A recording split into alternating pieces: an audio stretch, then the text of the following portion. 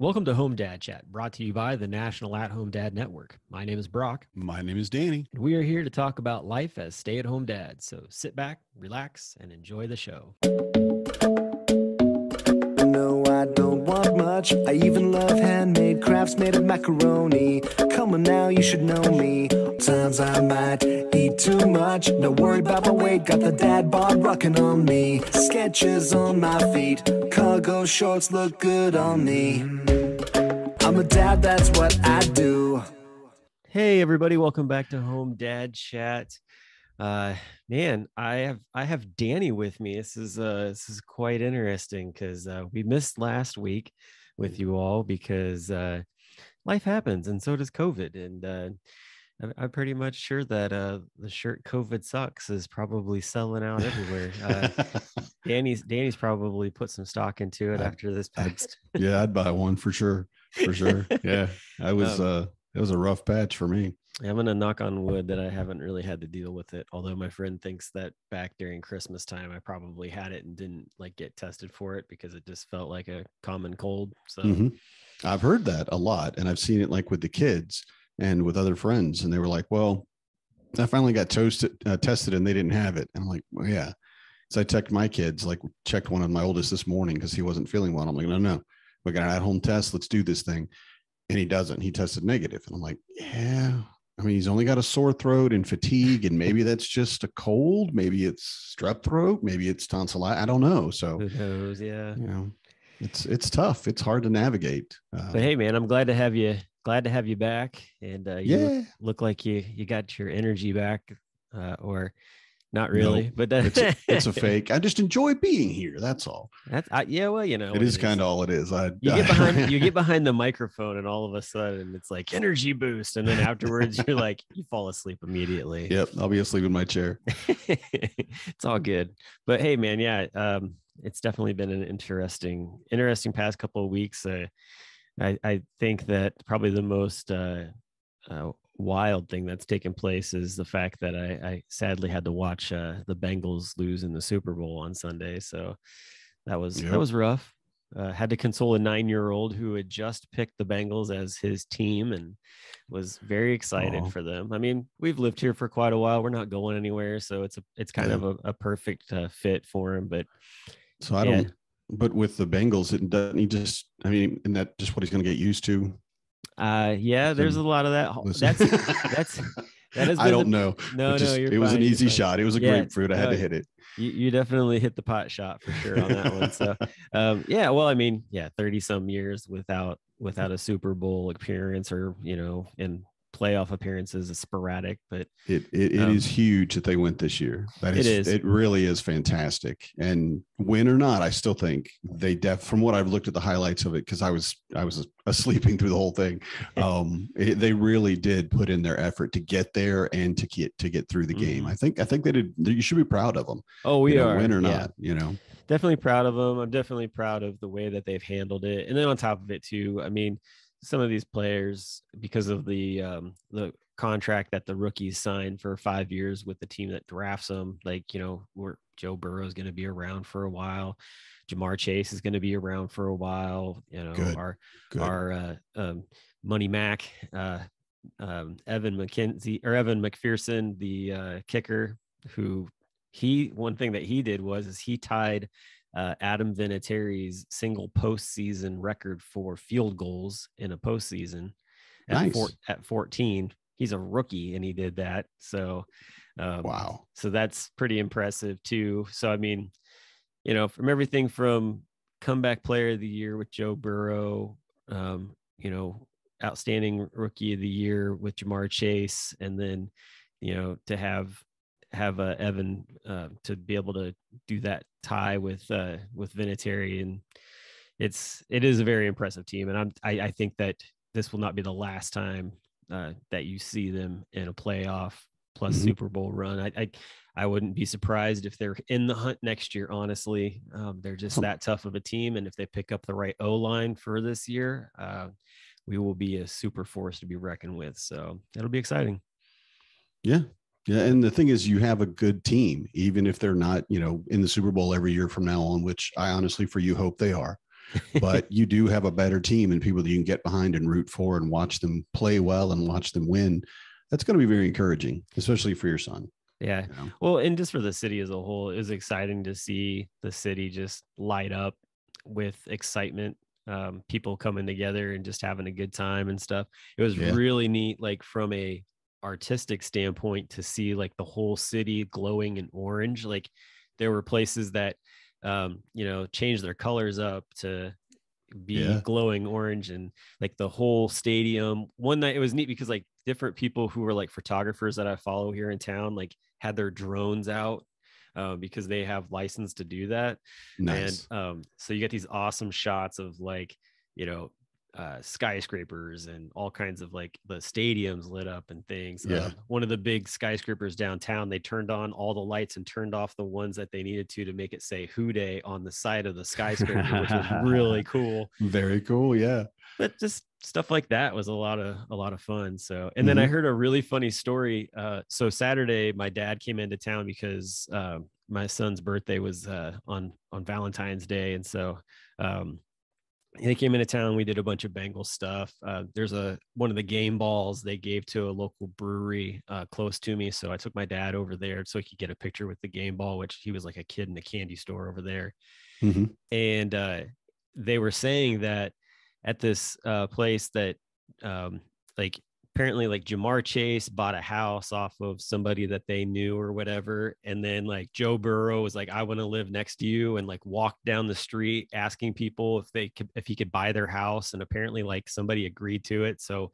He bought a house on the street, and then I think Sam Hubbard, who's like one of the other guys on the line, like he bought a house on that street too. So there's three guys. They all live like next to each other basically and it's just something you don't hear about very often No, that kind no. of thing it's just this camaraderie of these young football players Yeah. Yeah. And potentially if they're young, their first house, you know, and you buy it next to your teammates, next to your friends. That's awesome. right yeah That's very So- cool. well and and that's the thing with joe and ja'marr i mean they they went through college together and won a national championship with lsu so they've got they've got quite the connection there um but yeah it's just it's stuff like that are cool stories. I thought it was really neat too I, um was that um andrew uh Whit, or whitworth uh won the uh man of the year award the the um um peyton or not peyton what is it? Um can't think of his name now.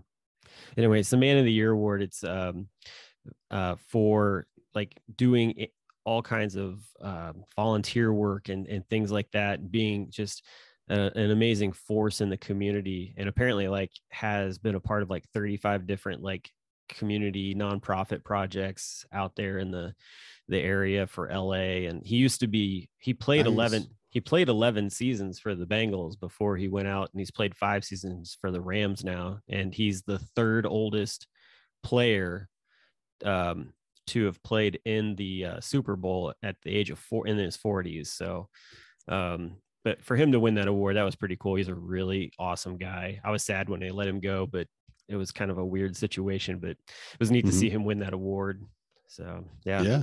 Yeah. Can you imagine playing football at all in your 40s? I mean, like actual football, we were going to knock you down, much less playing in the Super Bowl in your 40s, man. I mean look, Kudos. Tom Brady Kudos. did it all those years Yeah. too. That's that's the thing. I mean, so and but yeah, it's It's a I couldn't imagine it. I mean, I I'm 42 mhm. and I feel like I'm falling apart already with all the different crap I've got going on. And Right, uh, so right.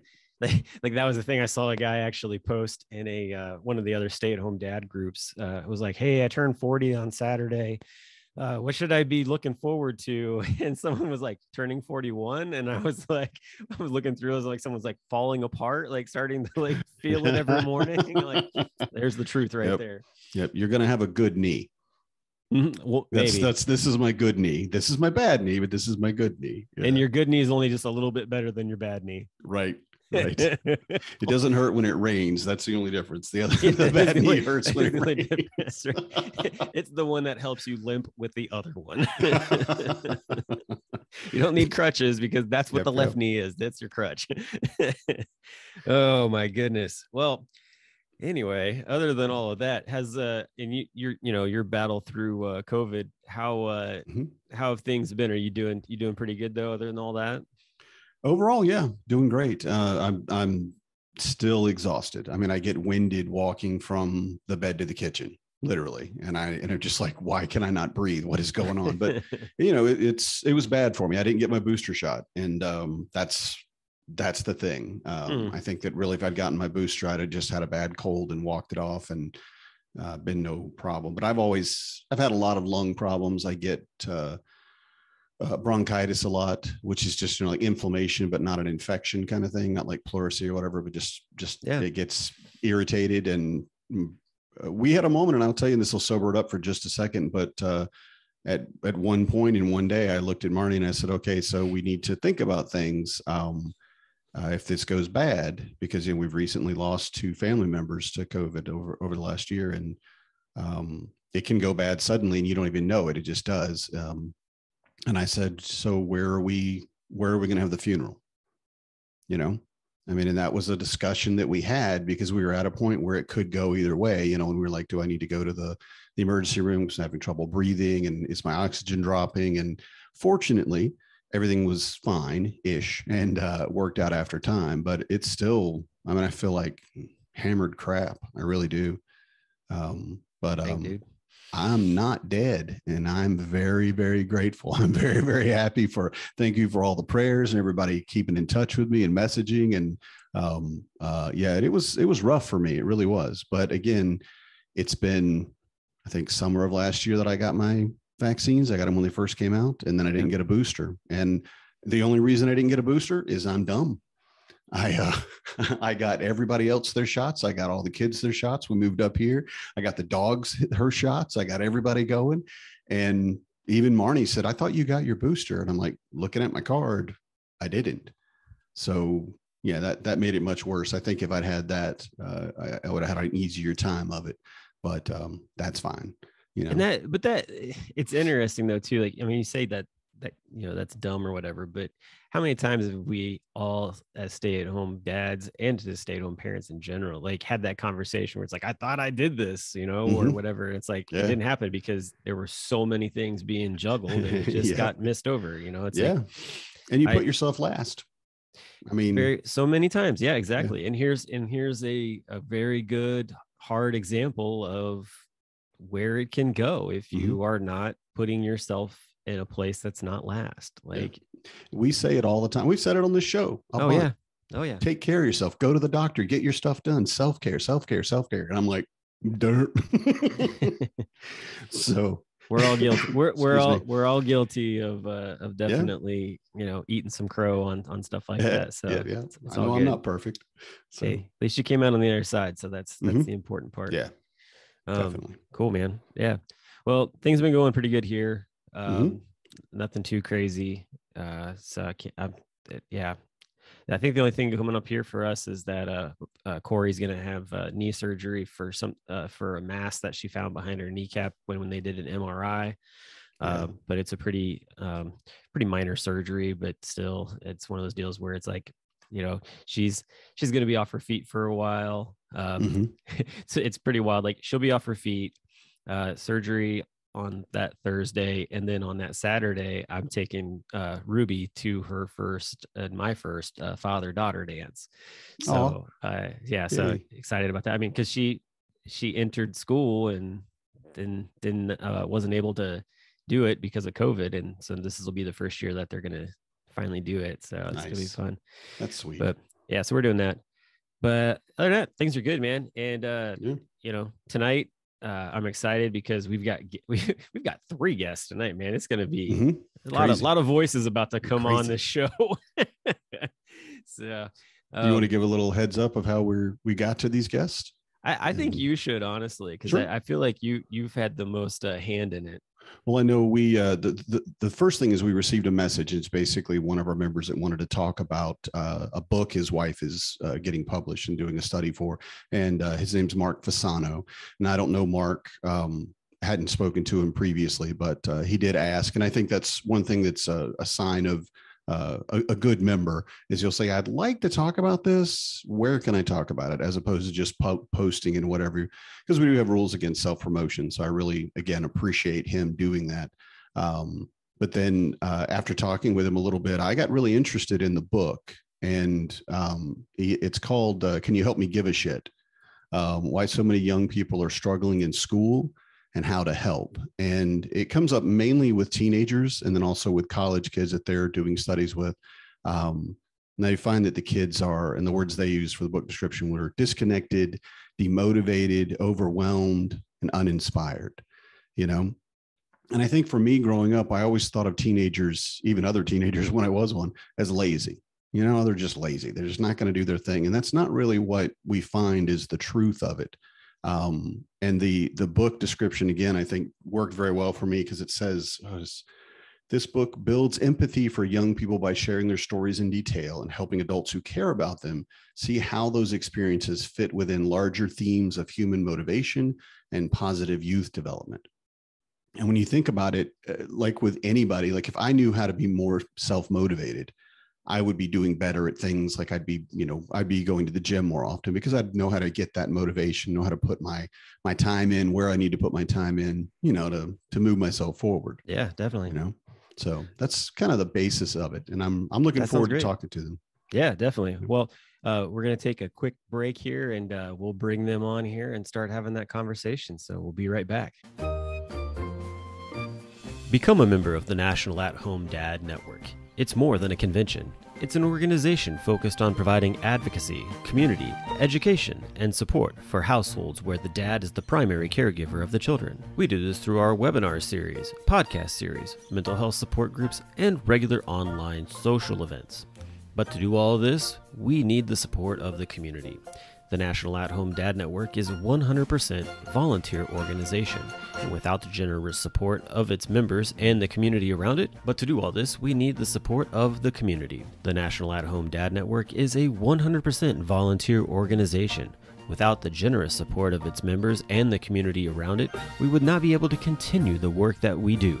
Becoming a member gives you access to our library of webinars, as well as past convention speakers' presentations. And yes, with becoming a member, there is some cool swag that you will get. For just $35 a year, you will be provided with exclusive content that only we can generate.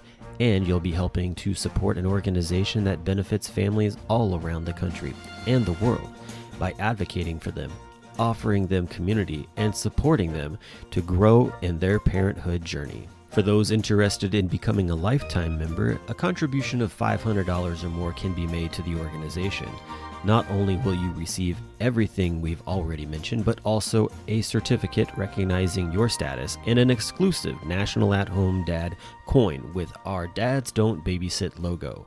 So become a member today. All right, and welcome back. Thanks for uh, being a part of the rest of the show. Uh, we have our guest with us today. Uh, we have uh, Mark and Becca, who are a couple and uh, mark is a stay-at-home dad and uh, becca is uh, writing a book alongside with a uh, student uh, named grace and we're going to be talking with uh, becca and grace a little more later on here in this conversation but we wanted to first get mark and becca's family dynamic and just kind of how things are working during this pandemic and just stay-at-home dad life and all those different balances so Mark and Becca, welcome to the show. Uh, tell us a little bit about you guys' self. Honey, you want to lead off or you want me to grab this? Go for it.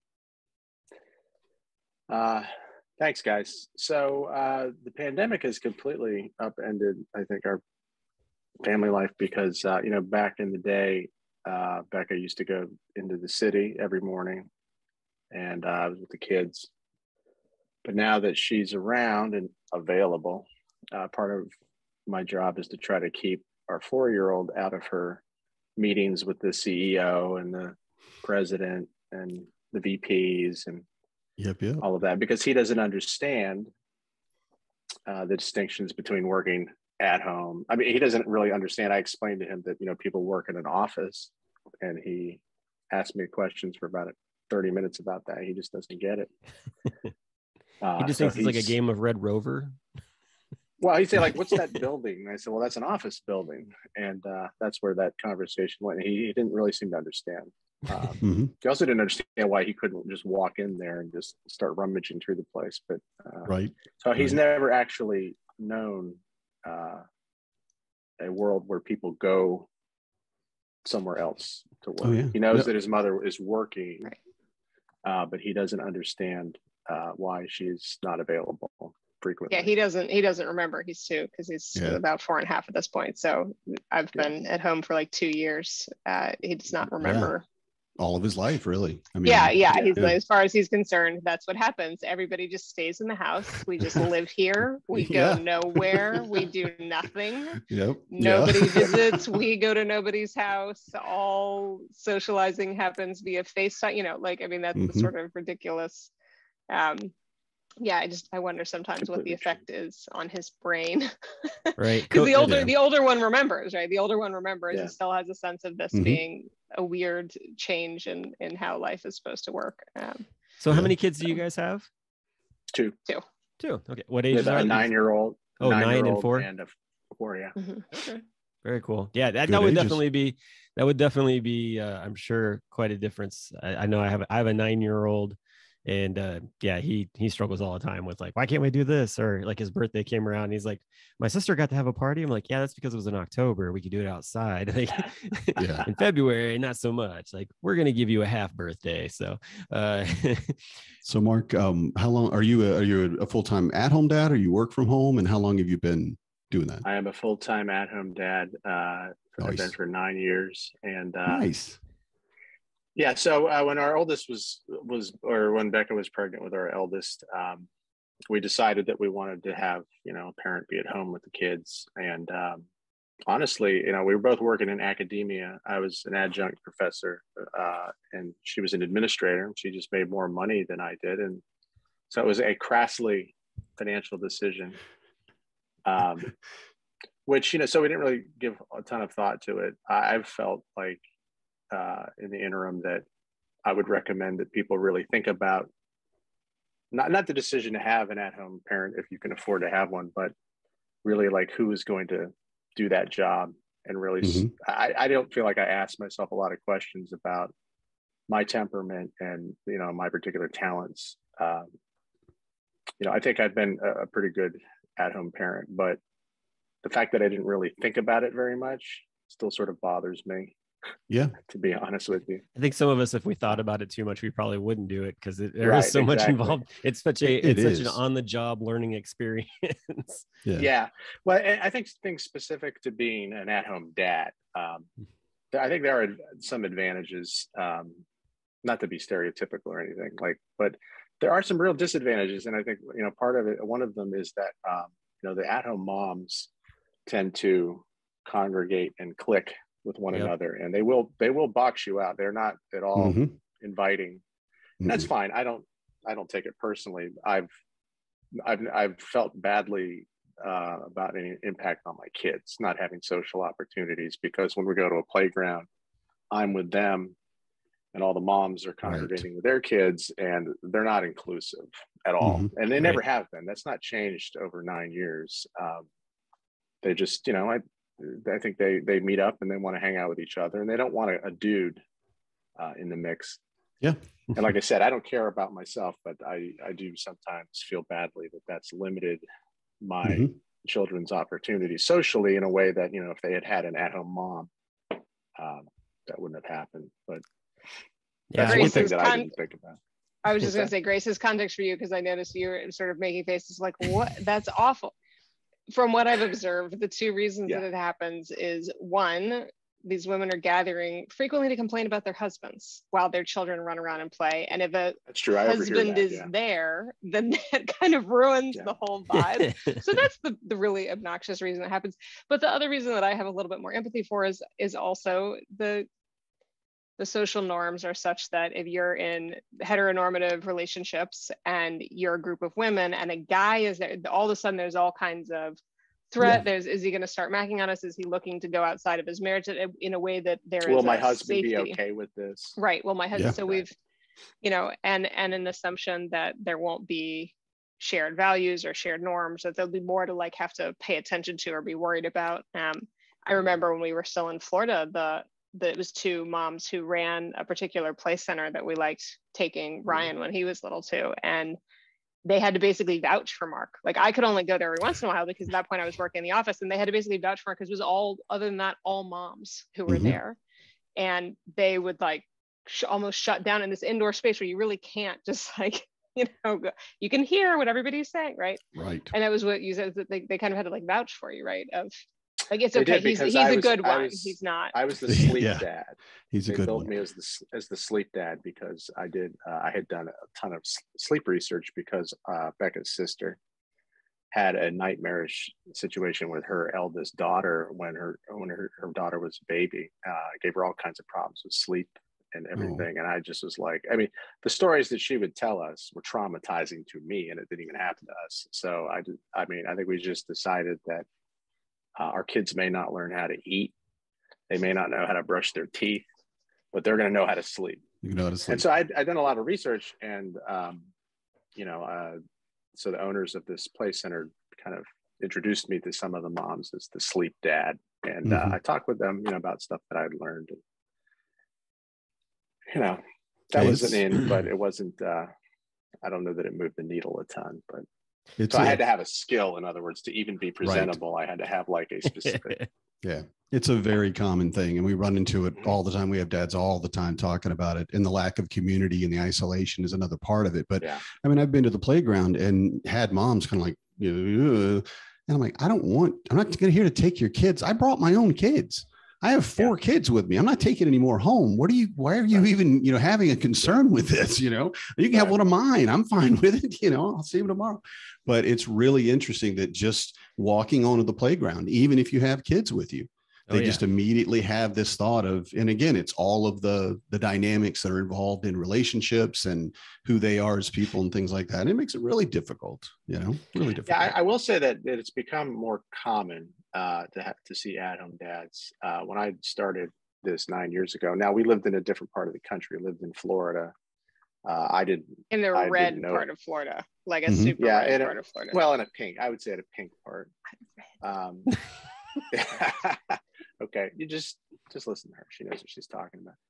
Uh, there weren't any at-home dads. Um, our neighbor across the street was um, confused. Profound. They were elderly couple, and profoundly confused. Like like he didn't hear me right. Um, yeah and that and you know when, when we moved up here, we live in suburban Philadelphia now, and uh, it- it's it's more common to see dads, but it's not the norm by any stretch of the imagination.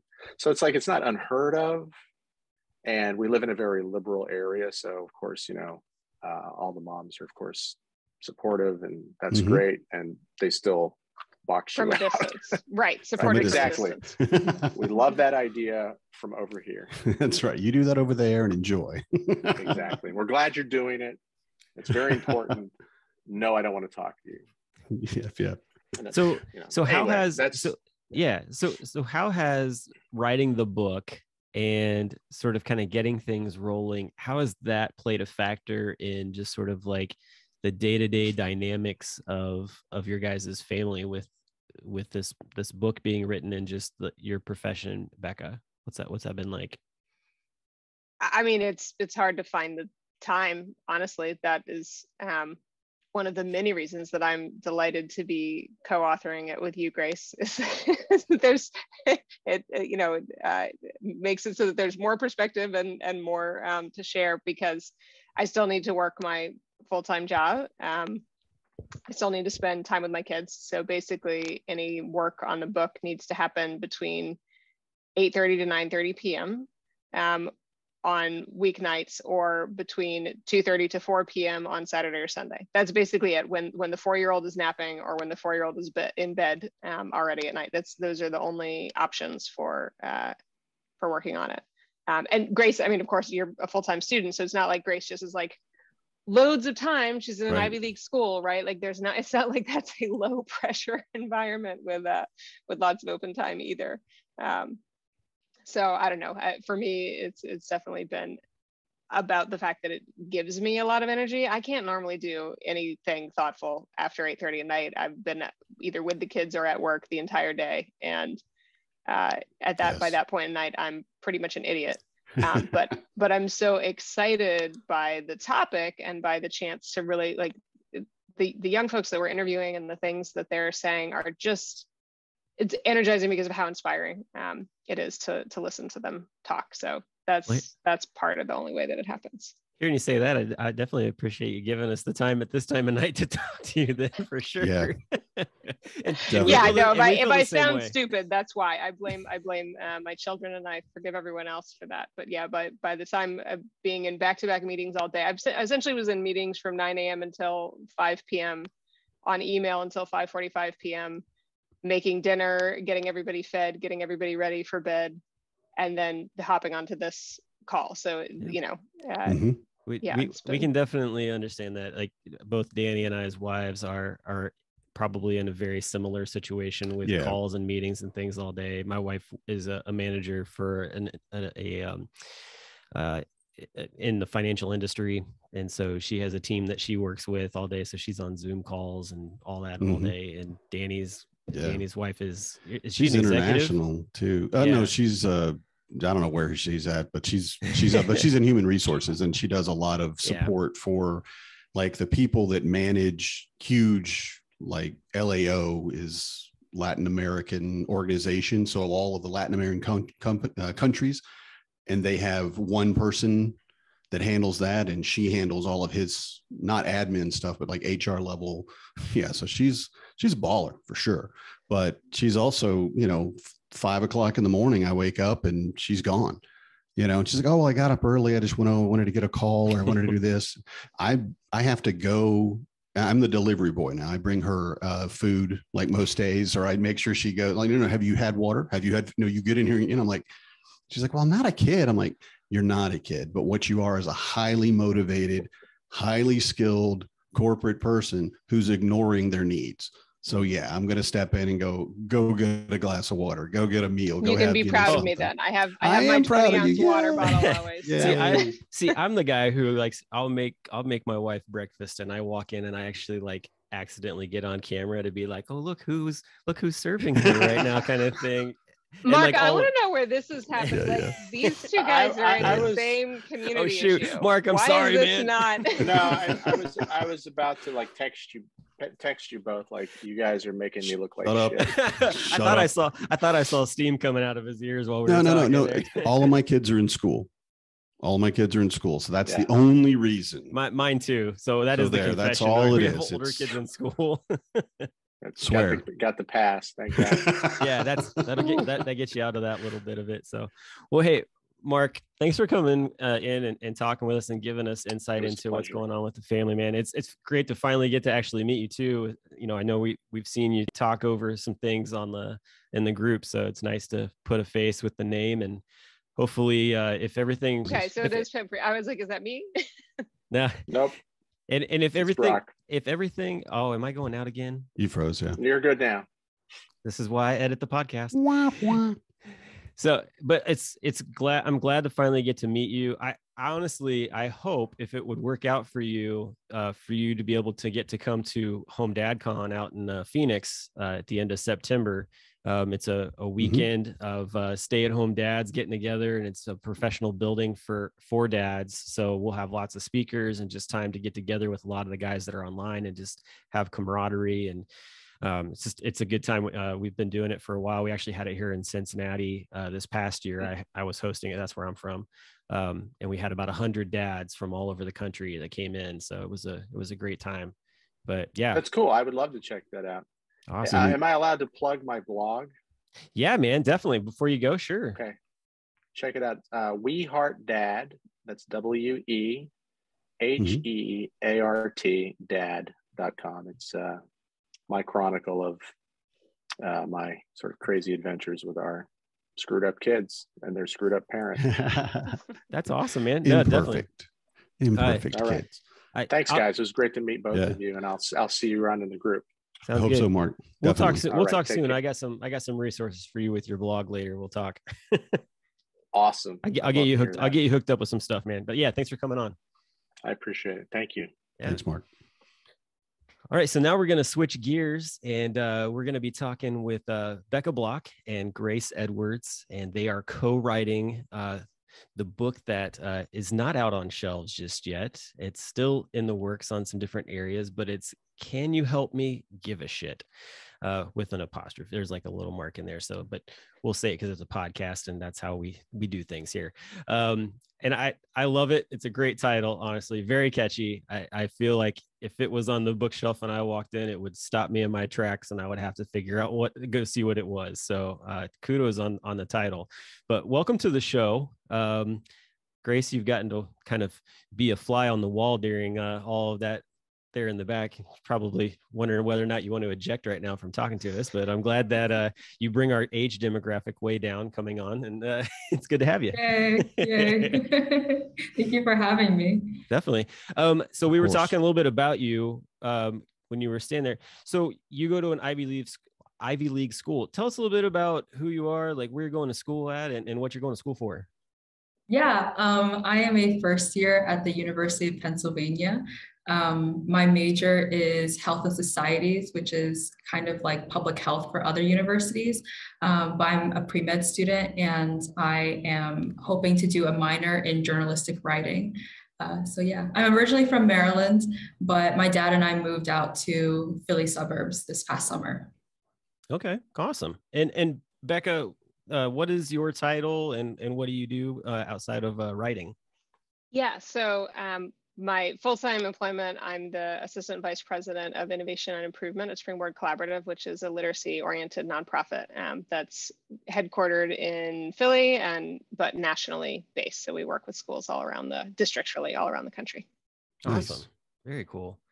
So, you know, like I said, you guys, uh, Mark had reached out, said that you guys had a book, and uh, you know, we started talking about different things.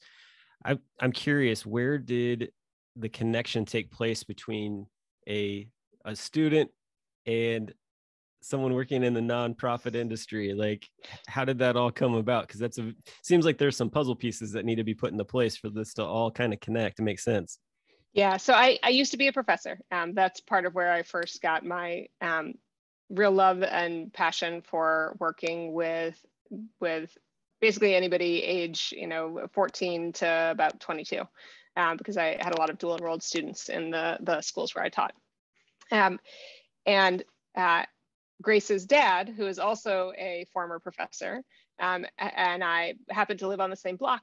And we met and we're talking about, you know, being for being recovering academics um, and, uh-huh. uh, you know, what we missed and didn't miss about the classroom. And I mentioned that I had been a writing professor and, and he said, oh, my daughter is interested in she's she's minoring in journalism i bet she would want to talk to you. Um, and so we ended up having a conversation this is you know quite a uh, sometime last year um, having a conversation uh, at at a block party actually. Uh, and and in the midst of that conversation grace was talking about um, some of the things that she had found moments that she'd found most inspiring and most um, frustrating in high school and in college um, and the themes that she was talking about, without me having told her any of the research that I'm familiar with on adolescent motivation and positive youth development and any of those kinds of things, were just lining up perfectly with the exact same things that I've heard coming from the young people that I've worked with or had the privilege of, of working with other colleagues who are working with young people. Uh, the same themes come up over and over again. Um, and I had already uh, put together the idea for this book and, and knew that I wanted to start interviewing people. I ask her like, "Hey, can you be the first person that I interview? What you're talking about aligns perfectly with um, exactly this this content that I think would really be helpful for any adults who care about people in this age range and are just baffled about like what is going on? How do i help them? They simultaneously feel really motivated by some things and totally demotivated at other moments and really deeply apathetic at sometimes and then but then i see this spark that i want to nurture and like what do i do? How do i do that? And i think that um, this framework is really helpful. And Grace was wonderful and gracious, delightful person and said, sure. And what followed was like a very long conversation. We talked for like two and a half hours, didn't we, Grace? It was something ridiculous. I'm surprised that my phone kept recording the whole time. Um, and then talked further as I, you know, shared the notes and shared, and I was like, do you want to do this with me? You want to be a journalist. And you were talking about the reason you want to be a journalist is because you want to help the communities that you care about and that's the same purpose of this book like do you, do you want to do this project together? Because i think it would benefit from having a young not not just young people's voices being interviewed but a young person helping to shape the way that we frame it talk about it up yeah. front. Um, and fortunately she said yes so so that's that's how i don't know grace what anything you want to add to that um, origin story there but that's my take on it our origin story. I love it. Um, I don't have anything else to add. I think you pretty, um, like you hit it on the spot. I had really struggled a lot um, during my first year at Penn. Um, not first year, my first semester at Penn. Um, part of it was like finding the motivation to to want to learn again, especially like after this pandemic, um, and then like also trying to figure out different strategies of learning again and like figuring out how to learn um, and d- and just kind of navigating and adjusting to the pace and environment of Penn is a, a topic on its own, but um, that was part of the reason why I was so interested in, in doing this book because I know that there my peers were also struggling with this at other universities and um, it wasn't just a me thing. It was definitely my generation after this pandemic. So. Mm-hmm. That's fantastic. I have to say, I really, I really love it. And, and reading like the synopsis that you gave us too, um, it seems like there's a lot more. Because when I look at it right now, like my oldest is 15 and he's he's doing okay. He's not exactly the most motivated person, but we're working with him. But it's still those kind of things where he does just get inexplicably unmotivated, just won't do an assignment and just leaves it and just does not come back to it. Um, and just being kind of overwhelmed sometimes. Uh, he's in some you know AP courses and what have you, and he wants this for himself and he wants this college career that he has in mind. He wants to be a veterinarian and he knows what he needs to do, but then some days he just stops you know, he just loses whatever he had going forward. So, you know, for me, I'm looking at it and I talk with a couple other parents I know that have teenagers and they talk about, um, you know, my generation and probably the generation before me, which was the baby boomers, was a lot of, well, you're just a lazy teenager. You know, you're just lazy. And it's really not that at all. And I've learned that so well with, but talking with other ones and talking about how COVID has, one exhausted a lot of children and I, and I apologize say children i'm an old man so you know people in their 20s and younger to me um, but also has kind of traumatized them and has just pushed them into a place but from reading the synopsis it's a lot more than just like right now in covid that this is kind of an ongoing thing yeah. and i'd like to learn a little bit more about that because of you know what your view is on say education and our educational system and how that's causing yeah. issues yeah, so I, the nonprofit before the one that I work at currently um, was focused on high school students primarily and on uh, the mindsets and skill sets that especially high school students who are in chronically under-resourced, systematically deprived school systems, neighborhoods, communities, right? Um, the young people who had experienced the most amount of trauma from from being in across intergenerational poverty and all those kinds of things, and and the effects that that has on just shutting out. Oh no, do we lose Grace? Or oh, just the video shut down. Okay. Um, the, the effects that has on just diminishing your sense of what's possible, right? And this well preceded COVID, it has massive effects. Um, and what that nonprofit did that really inspired me was why I gave up tenure. I'd been a tenured professor. I worked for them as a consultant, and I was so inspired by what they were doing and, and what I saw the, the impacting young people that I was like, that's it. I'm out. This is what I want to go um, support. Um, is that they would put folks that uh, they called dream directors into schools. And the job of those folks was just just to be there to hold the space for a greater level of possibility. They would they would expose students to, to opportunities they'd never seen before. They would bring in speakers and they would bring in political or acti- um, activist opportunities or they would bring them out to you know arts um, encounters or other cultural encounters.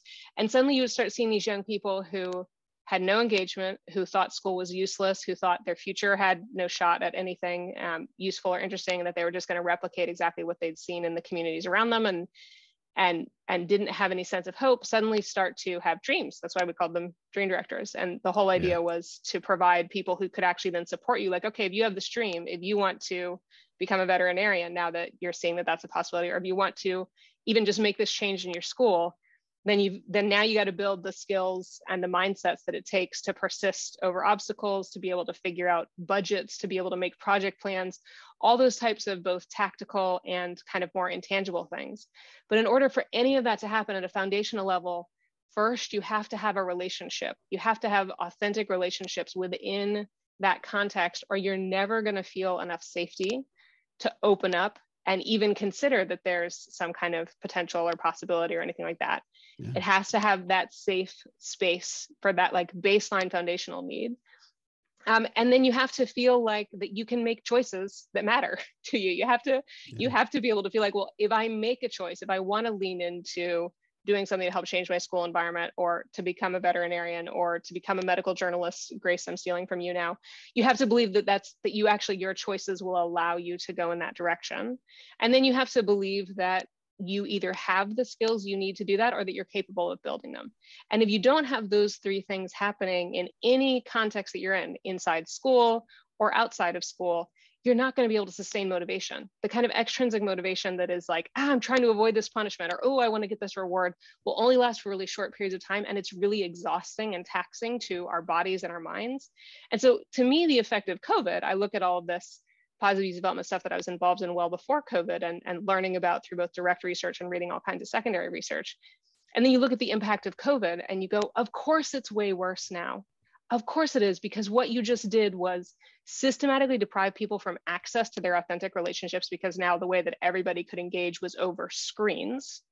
Then you decrease their sense that they could have skills because suddenly we all needed to learn a whole new set of skills about how to do all this stuff through screens. And you decreased any sense that you were able to make meaningful choices because suddenly everything was just this reactionary place.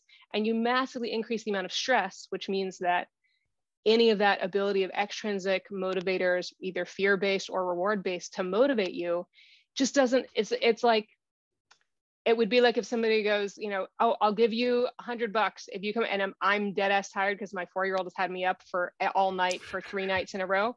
I don't care how much I would love that a hundred bucks. You're not going to get me off the couch. I'm exhausted. I'm depleted. There's nothing left for me to go after that yeah. kind of motivation for. It has to be things that fill the bucket. Um, well, I just that, went on a little bit of a rant. So no, you're fine. No, it was great. That was fantastic. no, no. Well, and you, that, you can feel the passion, which yeah. is what I really. I mean, it's obviously you you changed careers because of this passion you have for it. So uh, I didn't mean to interrupt you, Brock. I'm sorry, but I no, I love it, Becca. It was yeah. awesome.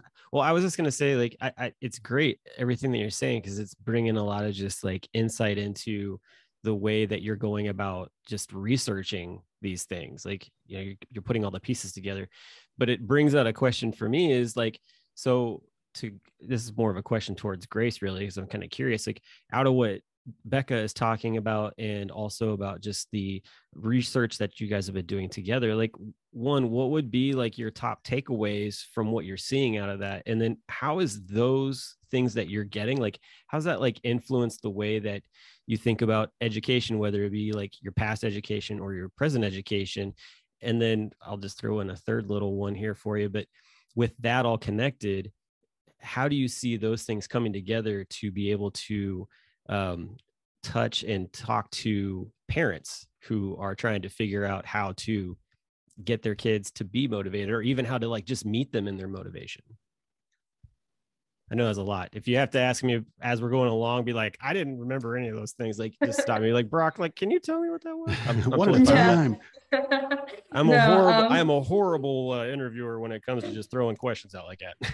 no, no, no. I think this is great. I have to say though, I'm so used to being on the other side asking questions. So it's a little weird responding to the questions and and having to come up with answers on the fly. But um, I think some of my major takeaways from from the interviews that we've done and from just like working on the book, it's really just confirmed everything that I have understood about my education, the education system, um, and the flaws of the education system. There's so many, um, and while I'm super grateful for for my for my education um, from Maryland and also the school that I'm at right now. I'm so grateful. Um, there are a lot of flaws, and a lot of those flaws are not only systemic, but also um, personal in how we treat young people and how we treat like our generation. Um, similar to what Becca had said earlier, I just always feel inspired um, by my peers who are doing similar things or have done similar things that I have done um, in previous years. Um, wow, major takeaways. I think the biggest takeaway is something that I have always known, and it's that we we need to have this this intergenerational connection. Um, I feel like in recent years, my generation has um, maybe not been the kindest to baby boomers and those who are older than yep. us.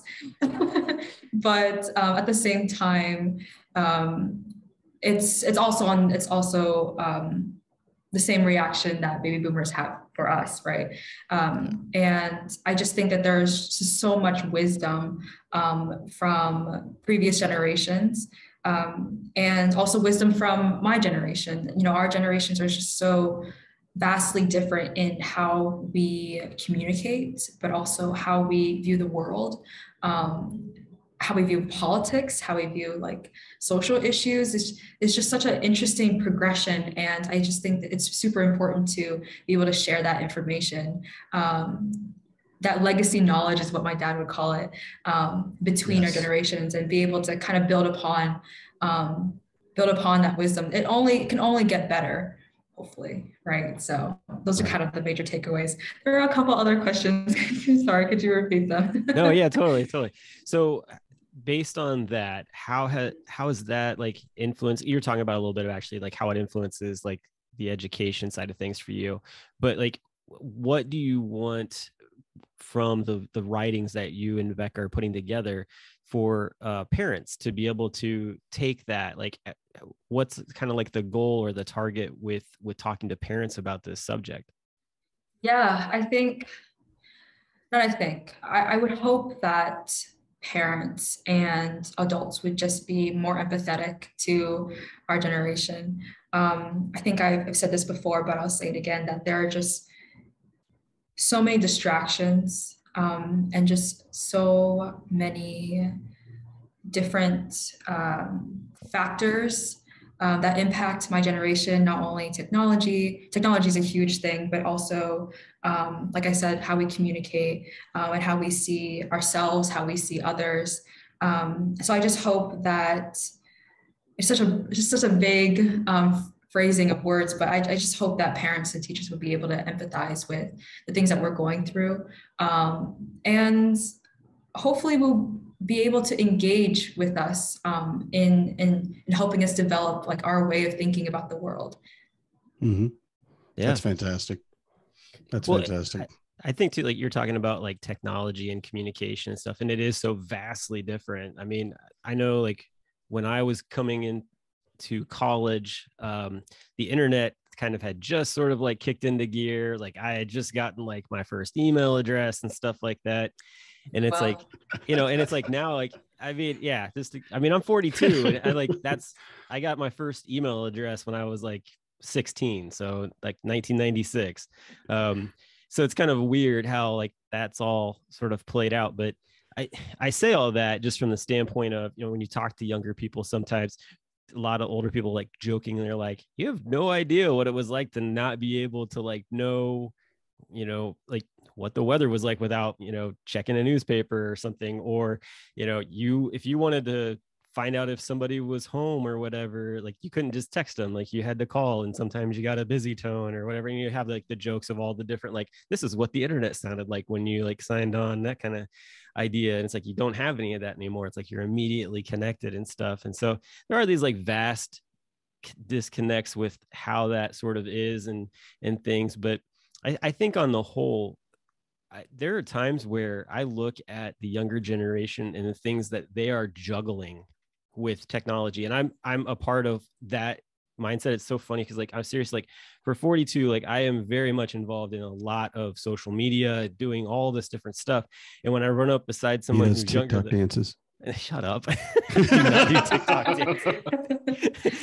There's more going on on tiktok than dances i tell you I uh, agree. Oh my goodness. Uh, there so is, there is. he anyway, gives me sorry. so much crap about it. No, it's okay. But uh, seriously though, like the thing with it is like you guys are jug you're multitasking all these different like other things coming at you and it just seems like this floodgate and so as far as where we're like oh like they're so crazy like all these different things like at the same time it's like I, I i envy you for the fact that it seems like the younger generation has just grabbed onto this idea of like i can do multiple things at once. Like you see some people who are younger like they're watching tv listening to music and like on their phone all at the same time and you get somebody who's like are, are you watching that? And like yeah i'm watching it and i'm also saying like my wife and i are really bad at that actually even and even though we're older. Yeah. but still um yeah i mean that to me it's just all wrapped up into kind of the stuff you're talking about is just this idea of having to sort of switch the mind as to what's going on. Um I, and and with that though like motivation is definitely something that can not only get after the younger generation as i was like reading through like just the different excerpts and things that you had sent over to us um i i i battle with motivation. I mean, there are lots of things that I want to do. There are things that are I am passionate about, and there are times I'll get going with it, and it just the well dries up real quick. Yeah. And um, so that's that's something that happens even even later on in life with with stuff. But with the fact that you are pre med and just getting started with your college life and very much young adult life, um, how how do you um, come out of that that dry well? What, are you What are you doing when you feel like you uh, you're not motivated with the things that you know you you'd like to be doing? Yeah. Oh my. What a that's what a heavy topic. Um, Always actually, get one before, good one in. I actually want to um, kind of address some of the things that you had said earlier. Um, first, I think you are more active on social media than I am. I currently actually have no social media. So um, I think you're winning in that area. Um, but you know, I you touched on something that made me think about a lot of the things that my generation is juggling with, right? Um, and I and I would argue that if you see me looking down, I'm like writing notes so I don't forget. Um, you're a journalist. Yeah, you're a journalist. You're doing exactly Do what you're supposed yeah. to be doing. And and as as a writer or a wannabe writer, at least I'm I applaud you. I'm like, oh look, a pen and paper. That's awesome. So yeah, go for it. Um, you know, I would argue that we are we have always had to deal with a lot of these issues of issues of racism, misogyny, body issues. It's just a lot more heightened now with technology. Um, there's and there's you know tiktok you talk about tiktok there's always so much information and just like um, decomposition um, decomposing like these dense ideas of of like um, like the female gaze or like male gaze like different social issues that you normally wouldn't be able to you wouldn't hear about those things on the news or any or any of those um, outlets. So um, I just kind of wanted, those were kind of the thoughts that were coming in my, my head when you were speaking. Wow, in terms of bouncing back, um, yeah, that's a that is something that I think about often, um, especially now. It's it's really hard. It's really difficult, uh, and I say this with a smile on my face because I know that um, it's worth it. Um, I think in high school it was much easier because you knew what the end goal was. Um, now, for me, sometimes it can be really difficult to keep that um, in mind, especially with, you know, like you said, there's just so many, we're just bombarded with so many things, especially at Penn. So there's just so many pressures um, that are just building upon you, um, either external or internal. So um, like I'll, I'll, say this like i i just um, got a my grade back from my chem midterm um, that i had like last last monday. And i did really well on it um, based on my previous grades from last semester. And I was really proud of it this morning. And then I came to class and I started hearing other people talk about their grades, and their grades were so much better than mine.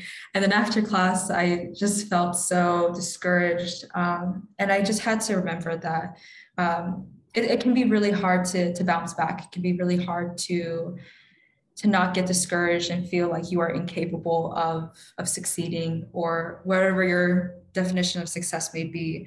Um, but I think a lot of the times that what helps me um,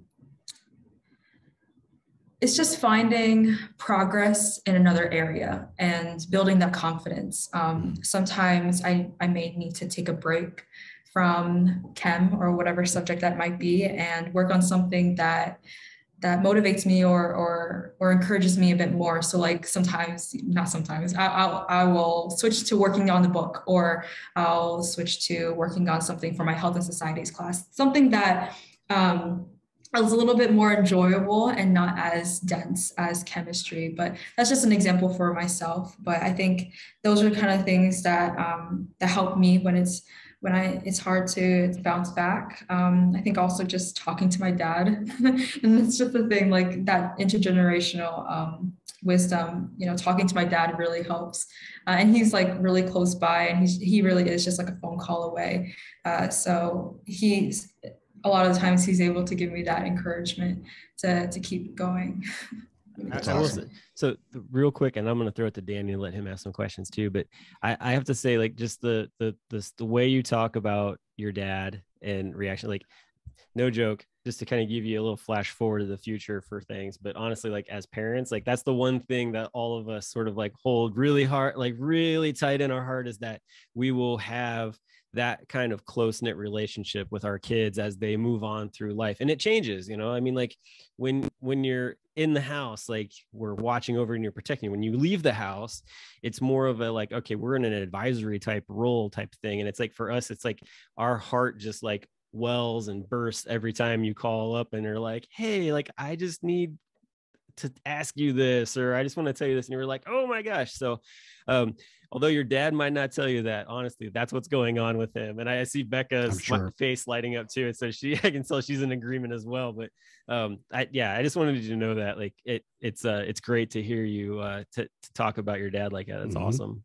yeah, I yeah. talk to my dad every day, nice. every morning, every evening. hey, I'm 42 and I still talk to my parents almost on a regular basis as oh, well. So I, yeah. yeah, I understand that connection. Yeah, it is fantastic. And you can tell too with who you are now and in college and being an adult and out, out on your own. And we don't, I mean, we don't look at you and go, well, this is somebody's child. You know, this is just another adult out there making their way through the world. But you can absolutely tell when you talk about not only hit your relationship, but also just the way you look at life, that there's somebody there that's been giving you um, this this guidance you know, and this reliance that you can, you know, kind of lean on them and like, okay, this is getting a little bit of a struggle, and this is that person, and it's wonderful that it's your parent and that it's your dad. Um, and I want to make note of uh, the a wonderful thing that you said, and being that you're looking to be a medical journalist and journalist in general, um, you did very well, I think, for all of the verbiage that you used and the words that you used. Um, even though it was kind of extemporaneous and spur of the moment, I think you did great just for what that's worth. Um, because one of the things you said is, and it's very inspiring to me, is the wisdom of your generation and then the wisdom of older generations whichever generations that might be. We have the typical you know memes mindset of of of uh, boomers versus millennials kind of thing. And that's not really what we're looking at necessarily but the fact that uh, all of them have their own wisdom. All of them have that their own thing that they are better at or more experienced at. And I love that you brought that up too, um, because it's for both sides of that equation is being able to look at the younger generation. Because a lot of times we do, we're going, ah, you're just a kid. What do you know? No, that's not at all the reality of it because you're an adult. You know, you're out on your own. I know you, you know, you call your dad a lot. That's fantastic, but you're doing all of this. You know, you're you're living your life and you're the adult in this situation and you're writing a book. And that's just awesome in itself but then it's a book that's going to help build empathy towards the stories of other young adults and children in high school that are going to need that someone to look at them and say why are they doing this? Oh it's because they're dealing with this this and this in our school systems. This is going on. Um, and i applaud you really for for everything that you've said but that's definitely the wisdom of the generations has really touched me personally. So. I just want to share in relation to this. So Grace um, asked one of the, this is a standard interview question, but it was Grace who came up with it. So I want to give Grace the extra credit there um, of asking the question of what is something you wish, you know, the young folks we interview, what is something you wish your teachers or parents knew about you or your peers? And one of the answers from one of the students um, who really inspired me. So first he, you know, kind of comically said, uh, shit's hard right now, y'all. Right. But then he said, here's here's here's the thing. Student problems are just adult problems for younger people. The issues and problems adults face and that students face are the same.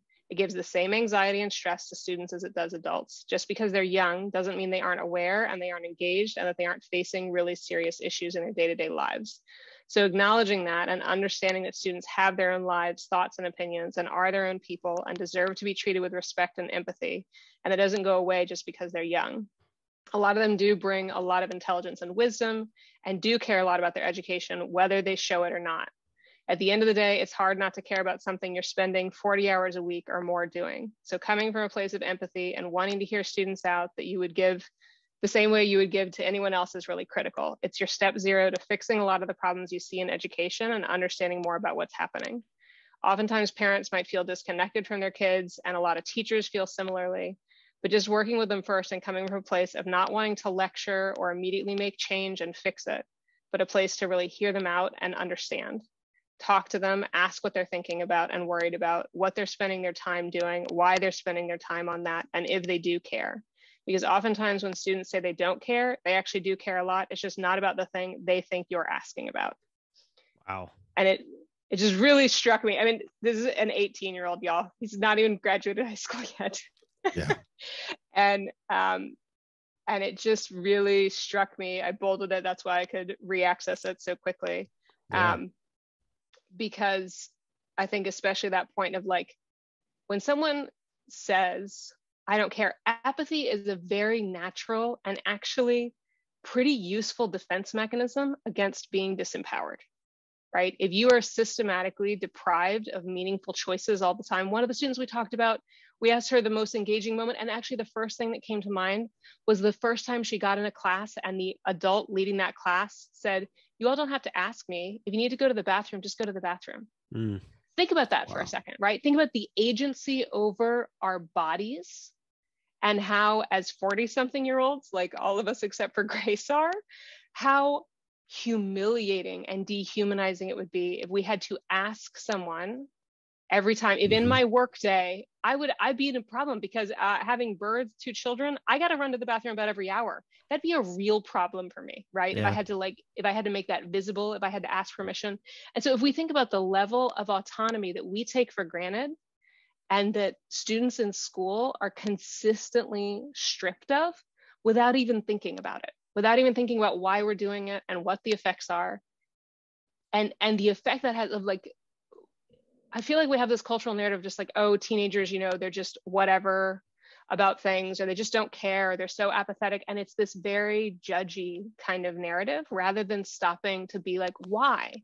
Why would a large swath of people for a certain period of time in their lives all consistently become apathetic? Is it possible that there's something going on that's not just oh hormones right? That like right. Right. that would drive that apathy and so when you're asking before of like what do you hope parents get out of this what i hope i get out of this as a parent who will have a teenager soon and as an aunt who has had a number of teenage nieces and nephews that are now adults um, is that reminder of how easy it is to only occupy your own position and and be like well i'm clear on what you should be doing and I'm clear on what would make your life better. And this has been my job as your parent is to make sure that your life was safe and protected and getting better, et cetera, et cetera, when you're younger, and to not make that pivot. That's what I'm hoping it will do. Honestly, uh, like the part of me that's writing it for myself is like my own reminder that in a couple years when my kid hits high school, I want to make sure that I am engaging with him in a way that is first, let me listen and seek to understand, rather than first, let me bring my agenda to this conversation about what you should be doing with your life and how you should be feeling and what you should be doing about it. Um, so, anyways.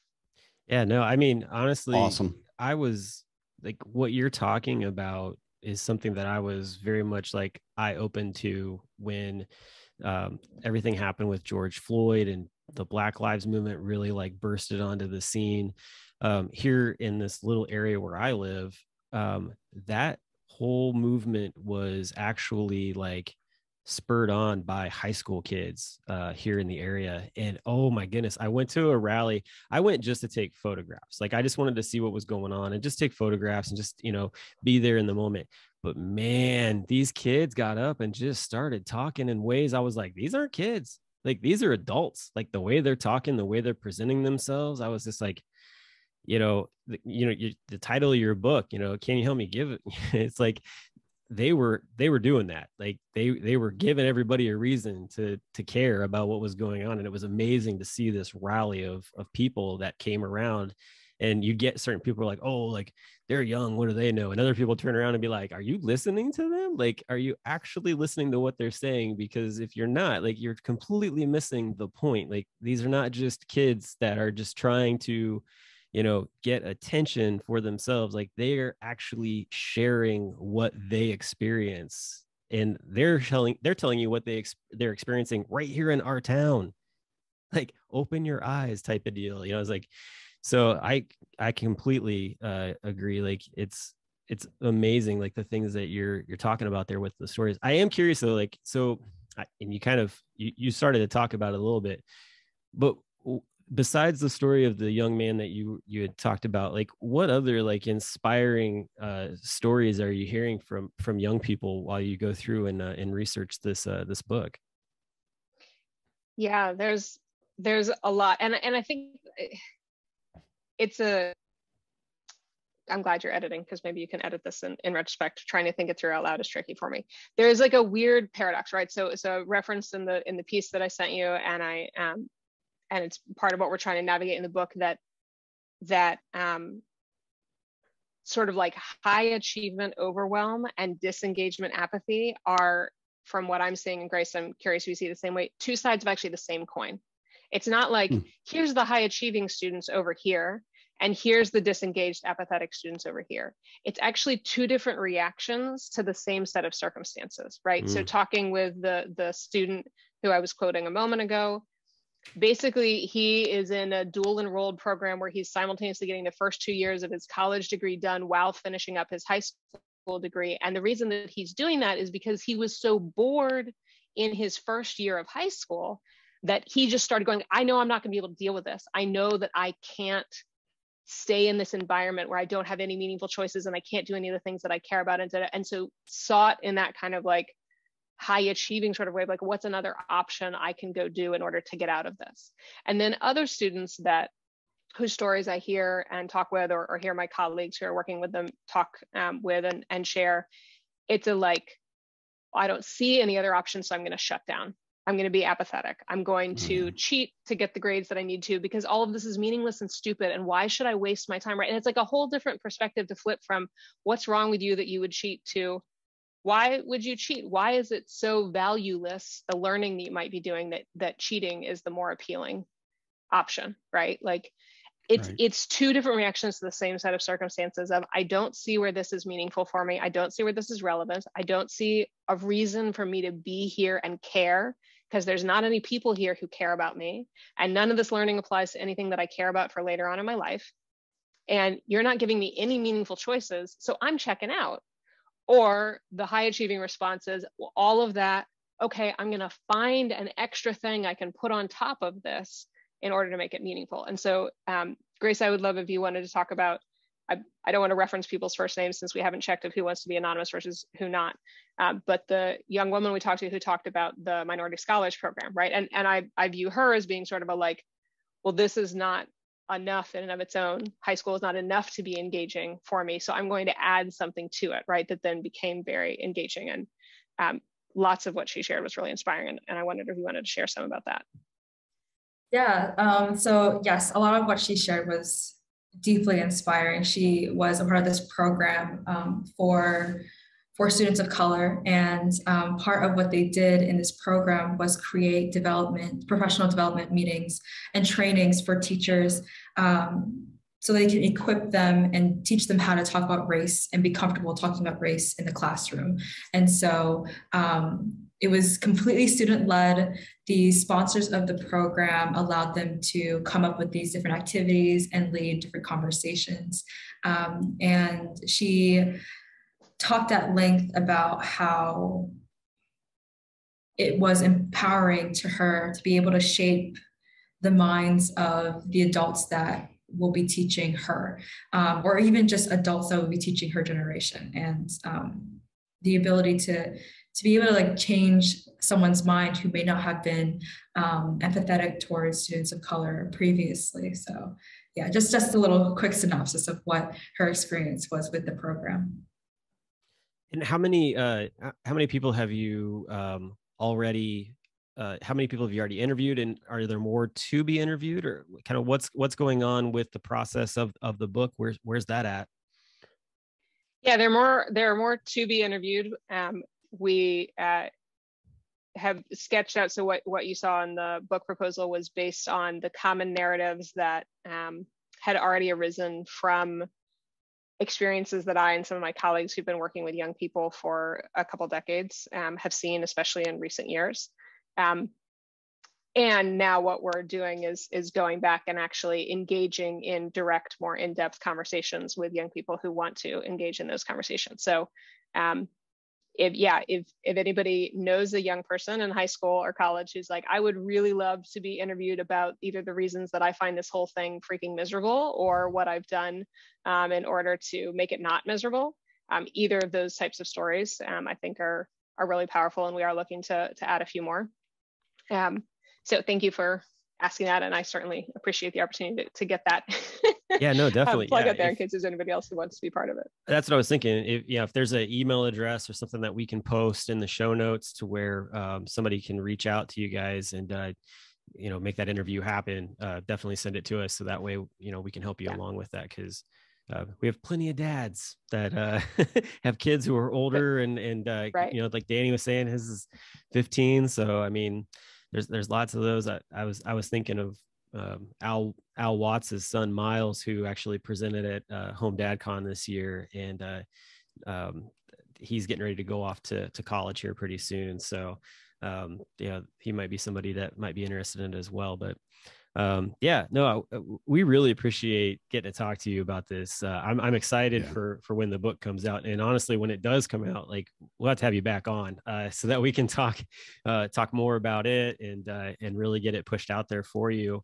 Um, and, you know, we'll stay in contact cause I, I definitely want to know when that's going to happen. Cause, uh, yeah, I, like I said, one, I love the title two, the topic is on point, um, with everything that's going on here. And, um, I, I, really wish the best for you all for you know the research you're doing, and and hopefully a publisher catches wind of this and uh, and grabs you guys up because um, it's uh, I think it's just a topic that uh, up until the point where it came in front of us, I, I never really had even thought about it. So um, mm-hmm. since then i think that it's something where it's like man there are other people who are going to feel the same way like i never thought about that and then they're going to hear this and hopefully it's going to uh, you know jaw them in a way that's uh, open their eyes to some other things going on so yeah yeah so, yeah that's that's what we found so i really appreciate hearing that as well and and i realize that quickly just in case you want to weave it back in you should explain the title where that came from because it's not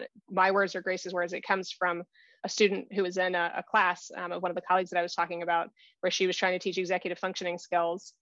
And the students just were not, they were students who wanted to get better, right? That whole motivation piece. And she wasn't incorporating motivation into the explicit conversation. And she's like, you guys say you want to get better at succeeding in your classes, but you're not practicing any of these skills I'm teaching you okay, what's going on? What is it you want?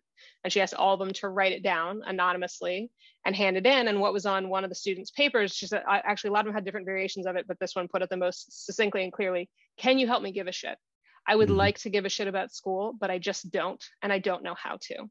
Um, and it just really struck me um, when she shared that story with me. I was like, that's the book. So that was the original inspiration for the book. I was like, that's the book that we need to write. Actually, is is that. Um, yeah. is inspired by that exact thing of like i'd like to but why don't i and what can i do about it? And yes. when you realize why you don't why it's so hard to feel motivated it actually helps provide a lot of the answers of what to do both systemically for people that want to make systemic change but also individually for what you can do you know within your own just individual life. That's great definitely Well, hey, thank you very much for coming on the Mhm. show today. And uh, like I said, stay in contact with us because uh, we want to we want to know and see more as it comes along the line. Uh, Grace, uh, good luck to you as uh, you continue on with your semester. Hope everything uh, ends well for you uh, as things move along for you uh, with pre med. I know that that can get uh, can get pretty uh, intense. I have I have Yeah. friends who are in the medical field, so I And tell your dad we're proud of him yeah. for what that's worth. just, just tell him. Some two old men on on some podcast he'll never hear. He- well, We're proud of him. she can just send this to him, and then he He'll hear hear this one for sure. Yeah, he should hear this one for sure. Because then he'll be proud. Yeah. Be like, man, I got I got to know those guys. Uh, all right. Well, hey, thanks so much, and uh, y'all have a great one. And uh, you know, we'll talk to everybody again uh, next week. Great. Good night, everybody. Thanks. Thanks so much. I'm a dad, that's what I do.